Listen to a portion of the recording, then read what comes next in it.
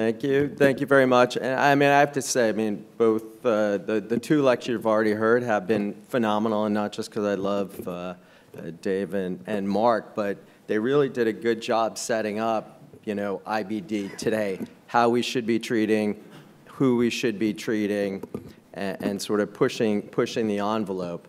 So we're going to talk now about therapeutic drug monitoring. Should we use it routinely or occasionally in IBD?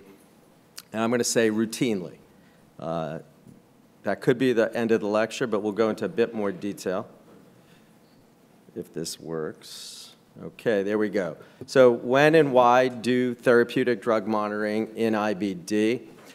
They've already showed you a bit of data. Reactive testing of drug concentrations in antibodies, it better directs care, right? It gives more drug to patients who are going to benefit, and you change therapies in patients who aren't going to benefit from more drug, patients with uh, high antibodies to the drug, or patients who have enough drug on board and need a different, different mechanism. And it's also been proven cost-effective both in modeling studies and in prospective studies in Europe. I think the more important aspect is, is sort of what Mark and David introduced is proactive therapeutic drug monitoring, not waiting till you're losing response, not waiting till you have low drug concentrations, but dosing to a therapeutic drug concentration ahead of time. We'll go more into this. Well, I'll show you data, and Mark's already teased you with it, that it improves outcomes and is cost effective. Most of the data is actually during the maintenance phase of the anti-TNFs. Uh, there is a bit of data on induction, and I actually think that's probably where it's most important. Uh, when stopping an immunomodulator in someone with combination therapy, I'll show you a bit of data on that. And then my favorite, and I think Mark's favorite, is optimized monotherapy with the biologics, sort of better optimizing the drugs we have, utilizing drug concentrations. So the Bridge Panel is a group that I've been involved with now probably over 12 years group of IBD physicians. We all sort of graduated uh, IBD fellowship around the same time. We did uh, we do a, a, number of RAND panels. We all uh, get together, decide on a topic, uh, and it's it's not just a consensus panel. It's a very algorithmic uh, routine where um, there's an extensive literature review. You go through the data, you go through different scenarios, you vote on the different scenarios from a one to nine, inappropriate to appropriate. You meet in person uh, and vote again. And in this setting, we found it appropriate to perform therapeutic drug monitoring at the end of induction in patients who are primary non-responders, meaning are they not responding because they're not getting enough drug? In secondary loss of response, which is where I think most people are used to this, during maintenance and responding, which is proactive therapeutic drug concentration monitoring, and restarting after a drug holiday, right? You have someone on infliximab, they go a year or two without drug for whatever reason, you're going to restart it. It's that second infusion, not the first one, it's the second infusion that has the highest likelihood of a severe infusion reaction. So the time to test drug and antibody is actually after the first dose uh, before you give them the second dose. Interestingly, it was found to be uncertain, probably because of lack of data at the time. This was a few years ago now, at the end of induction in responders, but I actually think that's a very important time to, to test. So what's the data for this, right? We're going to be balancing. I'm going to try to balance data and, and common sense, and sometimes it, it's a bit hard to do. So there have been many, many, this is just a short list of cohort studies, post hoc analysis that show what you think it would, right? It shows that drug on board uh, is associated with better outcomes. You'll see the list here. Most, the majority of the studies are with Crohn's disease and with infliximab, uh, because we've been using those the longest, but there is data, as Mark mentioned, for adalimumab, certolizumab, ustekinumab, and, and vedolizumab, right? And in fact, the, the higher the, the drug concentrations, it actually seems to be associated with better outcomes. So the higher you go, you'll go from response to remission to endoscopic remission, right? And that's sort of what we're hoping for. It's really the low drug concentrations that you can see that's associated with loss of response. And to date, there's really only been one study uh, that's ever shown high drug concentrations have a negative impact, and that was a letter in a rheumatology journal suggesting that uh, three trough concentrations greater than 24 were associated with a slightly higher risk of uh, infection. Dave showed you this study, but this is important, right? This, this tells you how your patients are going to clear uh, the, the drugs. Um, and unfortunately, on this list, most of them have a, a, pretty negative impact on the pharmacokinetics of these drugs. And the only one here that's actually shown to decrease uh, formation of antibodies and decrease drug clearance is the use of a concomitant immunomodulator. Everything else, the sicker you are, the more you're going to clear the drug. Also, the bigger you are. So reactive TDM, Dave, Dave touched on this. Again, I'm going to show you that better directs care, as, as Dave showed you, and it's more cost effective than compared to just empirically doubling up on the drug or decreasing the interval. I'm going to cut to the chase. And again, here, I put it in red, and, and you've heard it now from two other people. Anytime you have a patient coming in with symptoms, you need to confirm that those symptoms are related to active inflammatory bowel disease and they're not related to something else, whether it's C. diff, another infection, small intestinal bacterial overgrowth. Dave had a couple of great slides on it. Then, once you confirm active inflammatory bowel disease, then you can start utilizing drug concentration. So you check, and again, I think the most important really is the drug concentration of the drug. Antibody is a, a bit secondary. So if you have therapeutic anti-TNF drug concentrations, that's when you're no, the patient is no longer responding to that mechanism. You need to switch outside of class. I'm going to say it's, it's I, Dave said I would clear up some of the gray areas, and I, I, think we'll try to do so hopefully in the discussion, but there is gray area. And what that therapeutic anti-TNF concentration is, is a big gray area. Um, and, and so what I would say is don't give up on the drug too early. The first drug you use is the best drug, and to me, I optimize that drug because if I give up on that drug in that setting, you lose the entire class. So if you give up on infliximab, you lose the entire class um, because you're now postulating that it's mechanistic and not going to respond to an anti-TNF. I'll show you a bit. I put it in the slides, and I'm going to apologize ahead of time. I had way more slides in my lecture, and I hit a bunch, but they're there for your reference, and, and hopefully they'll be helpful. So if you have a subtherapeutic drug concentration, no antibodies. This is sort of this is sort of easy. You dose escalate. You can either do that by increasing the dose of the drug or decreasing the interval. You talk to any of the pharmacokinetics people, decreasing the interval uh, it actually is associated with higher drug concentrations and, and it makes more sense. Sometimes you have to balance uh, patient preference as well.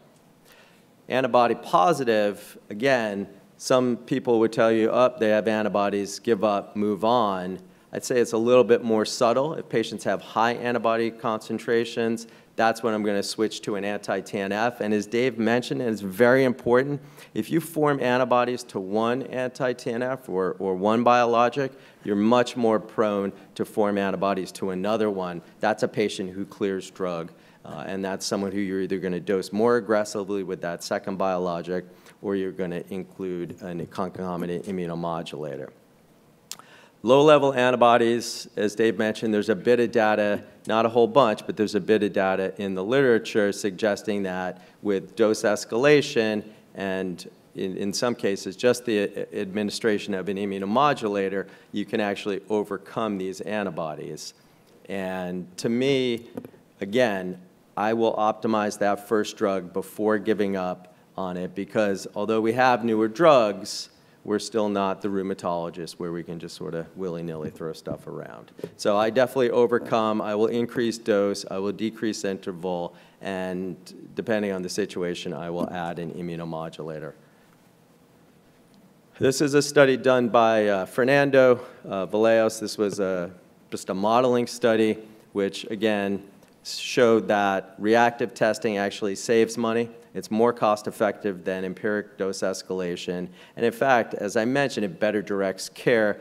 There's lower time these patients are on high-dose biologics. They go to surgery when they need it. They switch drug when they need it.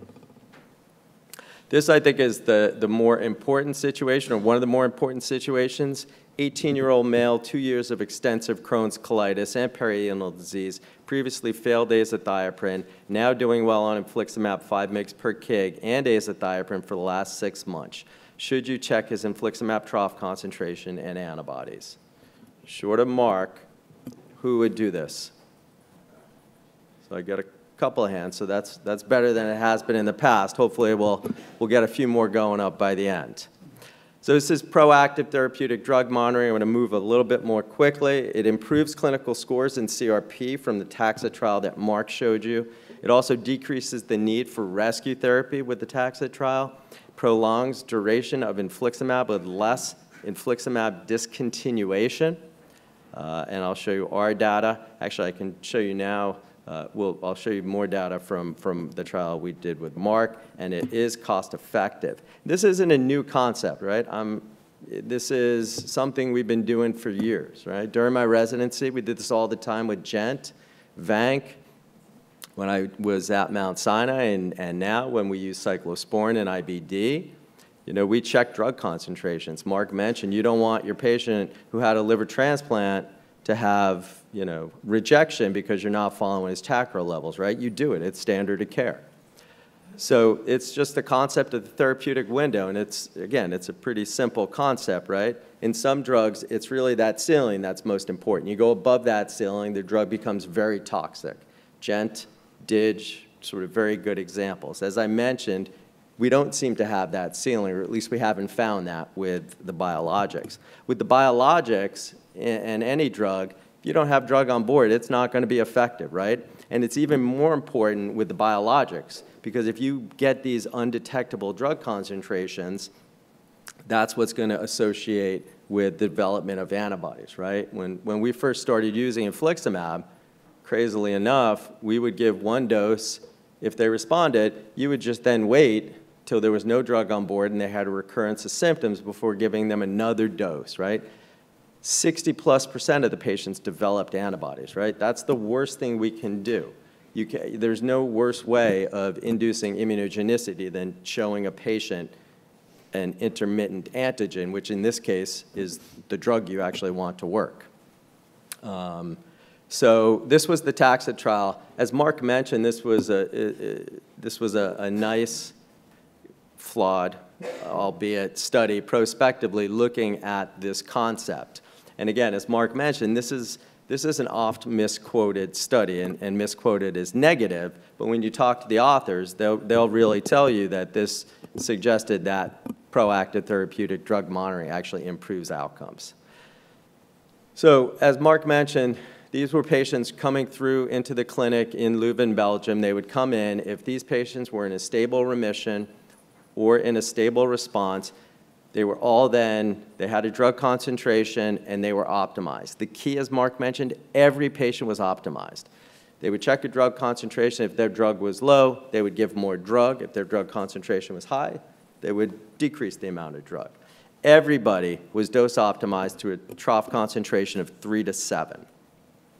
Then and only then, after they were optimized, were they then randomized to standard of care, which is dosing based on symptoms and CRP, or continued proactive TDM and dosing to a therapeutic concentration. Unfortunately, they optimized everybody and only followed them for one year. But again, here's the key, and Mark showed this in a slightly different way. In those patients with Crohn's disease who had subtherapeutic concentrations, they gained 15% of patients who were just responding and now put them into remission. And I don't have the slide here, but they had a drop in CRP as well, so some objective measure as well. You can see on the right, it wasn't the case for ulcerative colitis, but 90% of the patients were in remission and 90% had normal CRP. Again, unfortunately, they did not hit their primary endpoint because all patients were optimized, and then and only then were they followed for a year. I'd like to say you can sort of see about a year, you're starting to see the curves separate, and I think they would continue to separate if they continue to follow them. There were a number of secondary outcomes that did favor proactive TDM, and that's less patients that were getting their dose monitored and optimized, needed less rescue therapy, and less patients had undetectable trough concentrations, which we know are associated with eventual uh, antibodies. I'll skip the rest. And the, importantly, there was a similar cost between the two groups, so it did appear to be cost effective. So this is my original paper um, where basically I would be in the clinic and, you know, I have to say I trained with the Dan Present Mount Sinai who you know, all his research, the 6MP, all came from the clinic, and it was similar with me. Seeing these drug concentrations, just I didn't know why we weren't doing it. So in practice, I would tell the patients about the therapeutic window concept, and I would start dosing the patients. I almost akin to the tax that they'd come in, I check a drug concentration and then optimize it. A little bit different if they had an undetectable drug concentration, had no antibodies, I'd increase by about two and a half mgs per kg. If they had high antibodies, it wasn't working, I'd stop. If they had low drug concentrations, less than five, I would do more subtle increases by 50 or 100. These days, like I said, I've learned over the years now, I, I do more with uh, decreasing the interval. And again, if they were in what I termed the therapeutic window, 5 to 10, I didn't make any change. And again, I'll be totally honest, 5 just seemed like a good number. And again, to me, it's that bottom number that's more important. Why sort of sit right around undetectable if the patient gets a cold, doesn't show up, you're, you're running the risk of undetectable levels. If they were drug concentrations greater than 10, I would actually, on two occasions, dose de-escalate the drug or increase the interval. This is the, the, the shot that really showed that what we did is, again, this was done in clinical practice, and a, and a few years ago, we took those patients and we compared them to patients from our inflammatory bowel disease center who were getting standard of care, empiric dose escalation, often to 10 mg per kg, or reactive testing. Um, and you can see here drug persistence, and this is in weeks. That green line is actually one year, and that's actually about when the curves start to separate. You had almost 90% persistence on drug compared to about 50%, uh, which is more akin to what we're used to seeing. Um, and as, as Dave showed you, even within the first year, you're going to lose 50% of your patients. Mark touched on this. This is online, hopefully in press soon. Uh, Mark and I worked together, and we, we sort of combined uh, patients from Beth Israel uh, and Penn, and we looked at patients who had therapeutic drug concentration monitoring, and then if it was all based on what their first drug concentration was. If it was proactive, they were thrown into the proactive pile. If it was done reactively, uh, they were considered reactive. Um, and then really what we did is look at treatment failure. We looked at serious infusion reactions, IBD-related surgeries, hospitalizations, antibody development. There was markedly less treatment failure in those patients getting proactive TDM compared to reactively. Uh, it didn't matter if the patients had Crohn's or UC. In fact, there was a bigger difference uh, in UC than there was with Crohn's disease. Uh, and as Mark showed you, there was less IBD-related surgery, hospitalizations, antibody formations, and serious infusion reactions when doing this proactively. And again, as it makes sense, those patients in that lowest quartile, they were the ones that had uh, the, the worst outcomes.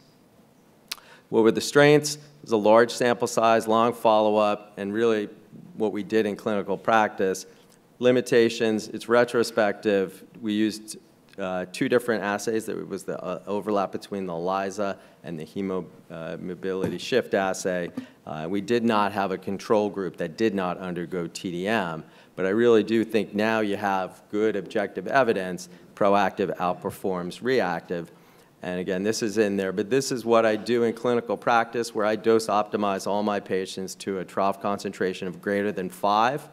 I write to 10 because that's often what I do, but again, after doing this for so many years, I do find that we don't know what that exact window is, and individual windows are different than population windows, and I have a number of patients who I have running between 10 and 15, because if I go below it, they develop symptoms or antibodies.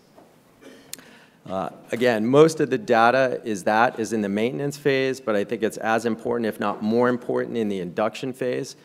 As you've seen now a couple of times, these are the patients that are sick, right? Low albumins, high CRPs. These are the ones that require more drug.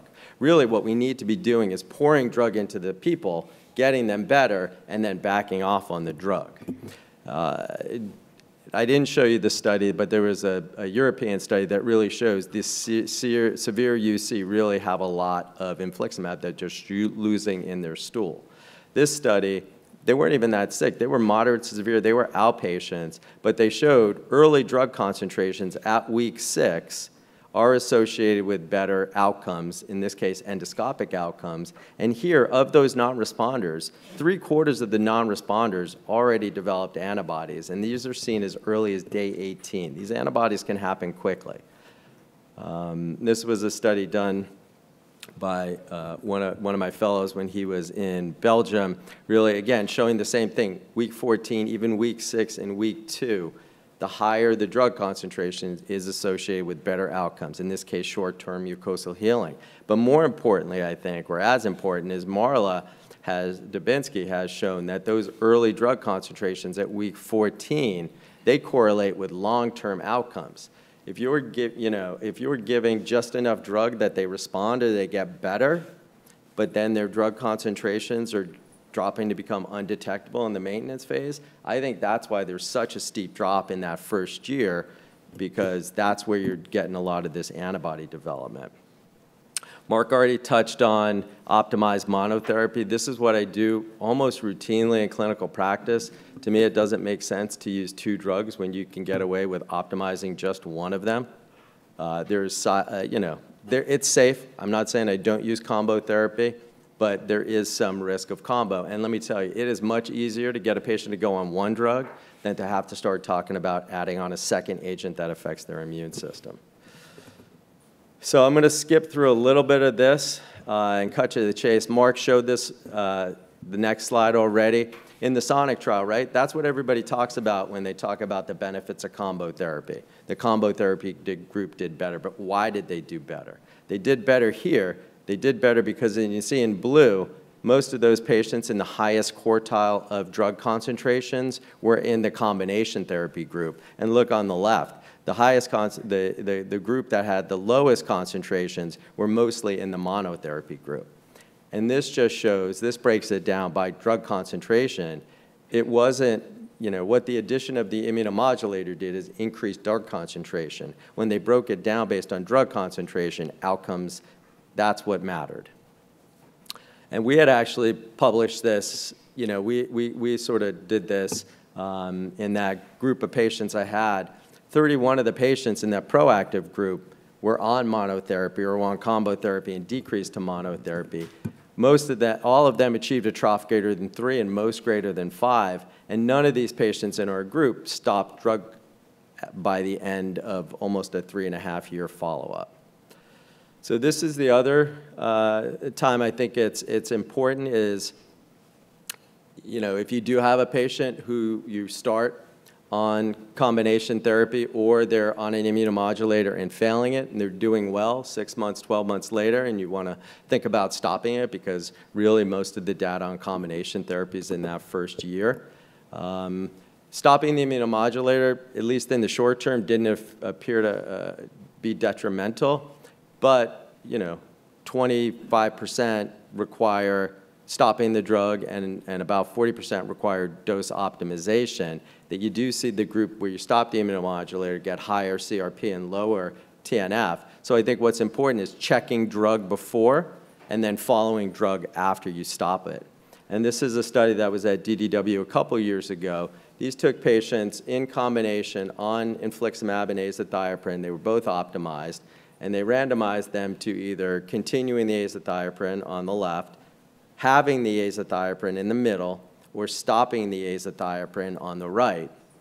And they followed them out a year. And again, as I mentioned, at a year, the outcome of, uh, uh, failure was about the same. But you can see here the median dose of infliximab was now half.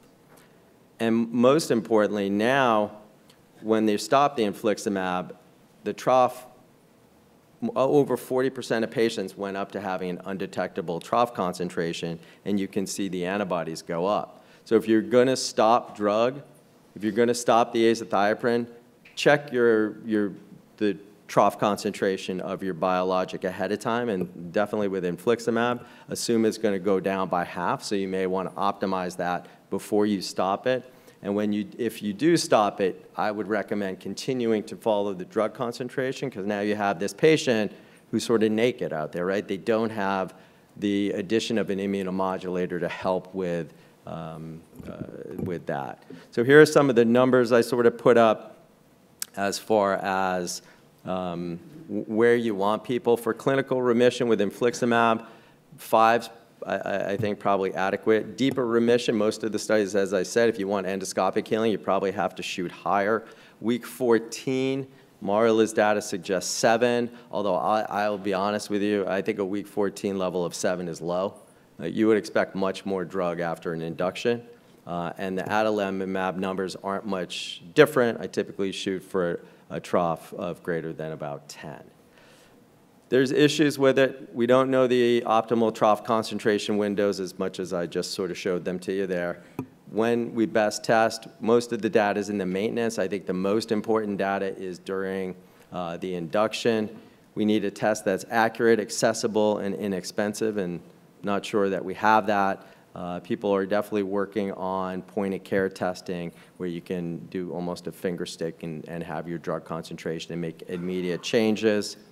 In practice, know your test, know which one you use. Is it a drug tolerant assay? Can it measure antibody in the presence of drug?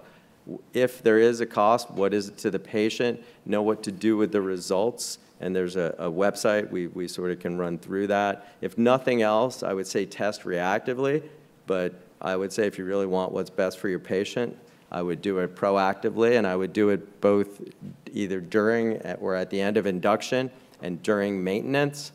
These are the assays that are out there. Again, this is more for reference because I'm already over, and I see Dave starting to sweat in the front row. Um, This is a good website for you. You can click on the Bridge IBD, and hopefully we're going to be updating it this year. You can plug in the drug, the drug concentration, the antibody, and the clinical scenario, and it'll sort of tell you what we came up with as far as recommendations, as far as being appropriate, inappropriate, um, or in the middle. So the conclusion so far, and again, I still think we're, we're at the beginning of, of TDM, although it's, it's taken us 20 years already. Uh, There's clearly a positive association between trough concentration and clinical outcomes.